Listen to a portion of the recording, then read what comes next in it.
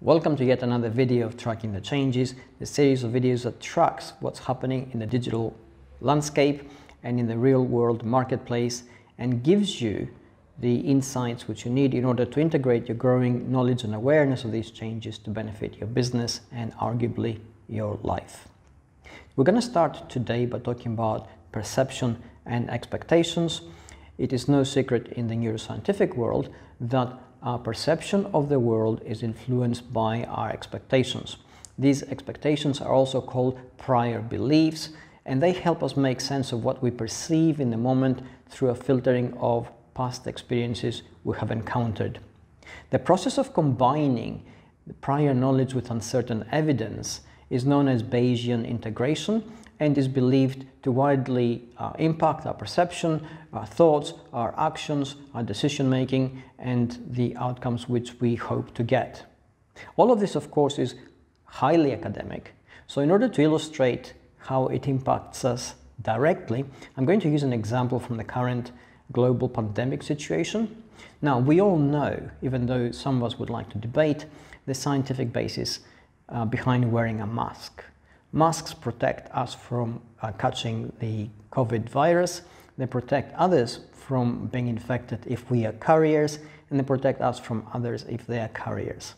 None of this scientifically is debatable, but undoubtedly, in the long scheme of things, where we may potentially catch a virus that may potentially threaten our life, we are prepared to take risks because we feel the um, current predicament of losing visual communication with others because we can't uh, sort of show our face, um, being uh, awkward in social situations because we're all wearing masks, and also the general discomfort that wearing a mask actually elicits in terms of how it makes us feel and our own perception of how it makes us look. So, within that context, there are documented cases of many individuals who are highly logical and highly intelligent, and yet they are reticent to wear a mask until they absolutely have to.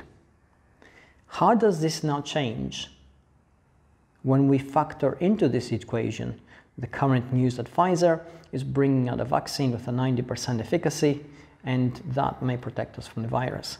Suddenly, because we know this is going to happen in the imminent future, the value we place upon wearing a mask changes because now we know it's a waiting game and it would make sense for us to not catch the virus in the immediate uh, future in front of us until a vaccine is widely available.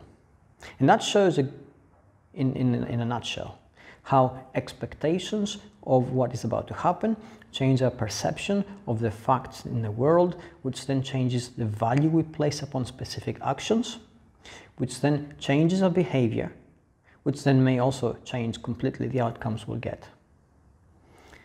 Now, how do you factor this into your own marketing? And the question is, if you're doing business, if you're doing marketing, do you really fully take into account the expectations of your customers? Do you fully take into account the uh, outcomes they will hope to achieve through certain actions? And do you factor in how those expectations which they may have are projected through what you do in your own marketing. It takes a little bit of thinking about, but it will actually, if you think about and process it, it will change the way you approach, how you project yourselves, how you create the common touch points between a business and its customers, and how you create the common framework through which better communication um, takes place. I hope all this helps. Don't forget to subscribe to the videos if you haven't already. Don't forget to check out the description box on YouTube because there are links to deeper stuff about this which will make you think more and also will give you a little bit more granularity to everything that's happening. I hope this helps. Take care.